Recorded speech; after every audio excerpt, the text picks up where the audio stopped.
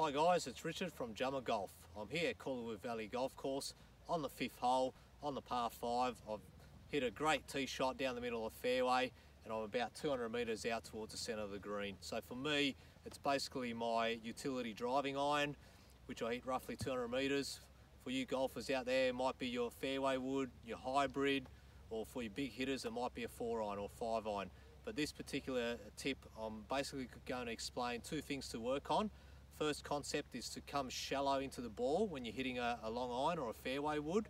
So what I mean by that is a lot of golfers approaching the ball quite steep, sort of chopping down and you're de-lofting the, the club face. So it's very hard to get that long iron or fairway wood up in the air. So good little tip is to feel like the club's coming in nice and shallow, spending a lot of time near the ground, hitting the golf ball, and then getting this extension. If you're coming down steep, you're looking like this, you're holding up, and that's costing you a lot of power and distance.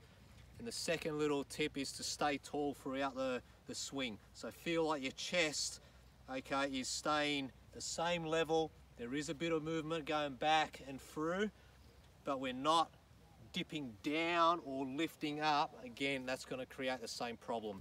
So let's uh, hit um, one of these shots off the fairway, working on those two little concepts.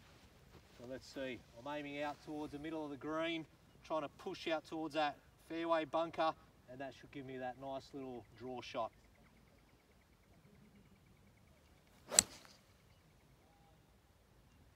There you go, that fell flush off the middle of the club face right in the heart of the green, putting for eagle.